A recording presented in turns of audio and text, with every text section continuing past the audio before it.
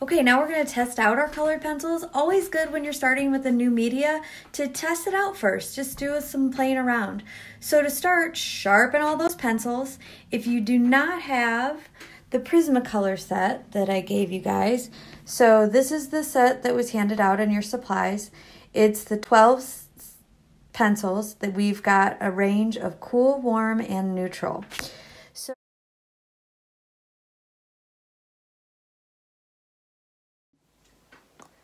So now that I have my chart, and I used my quarter, by the way, to keep the size the same, you can use whatever you want. Um, something about that scale. And before we start, not only are pencils sharpened, but I need to take up some of the graphite around my circle so it doesn't muddy my color and my colored pencils. So I'll just kind of wipe away, make sure it's with your kneaded eraser.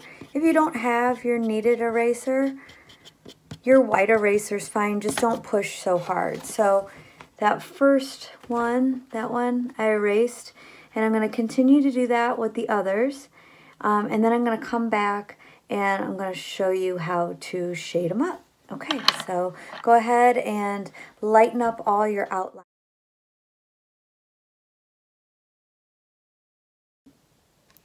All right, now that my lines are nice and light and my colored pencil isn't going to get muddied with the pencil.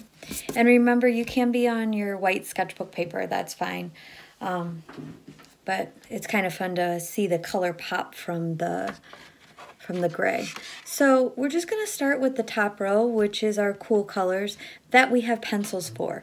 So I've got my violet first. So some tips about filling your circles.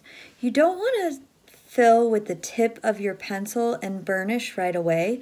You want to kind of keep a side angle and notice that I'm not holding my pencil down like an angry person, that I'm holding it kind of in the middle, or you could even hold it towards the end.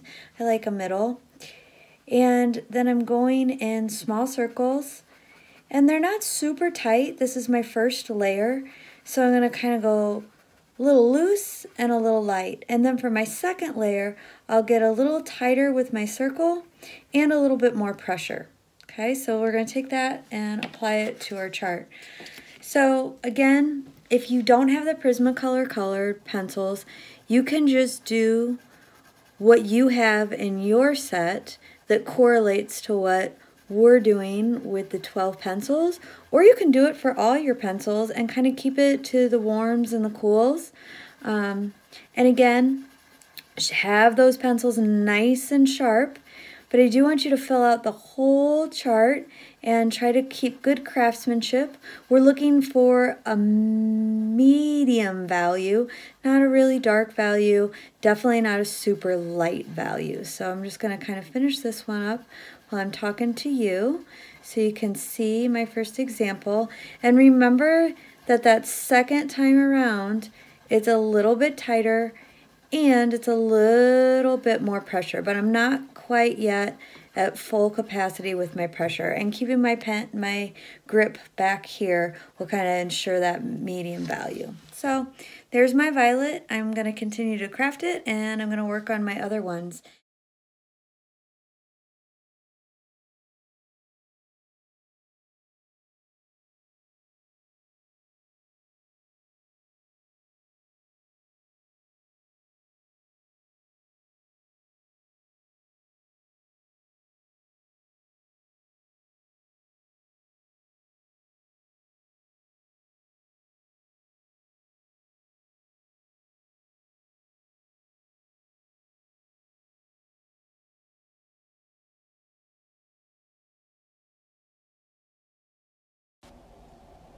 Okay, once you're done with your chart, yay, we're done.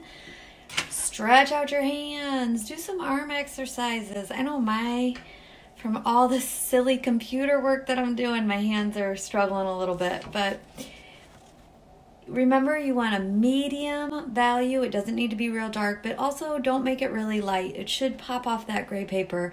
And if you're using white paper, same thing. You'll see a little bit of the grain of the paper, but not too much. So that's your assignment. That's your goal for the day. So post your little chart and post your start to your daily drawing in your slide that has your name on it. All right. Have a good Tuesday.